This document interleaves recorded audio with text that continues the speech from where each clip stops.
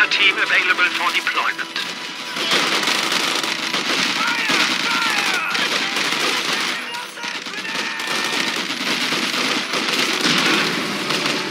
we have casualties.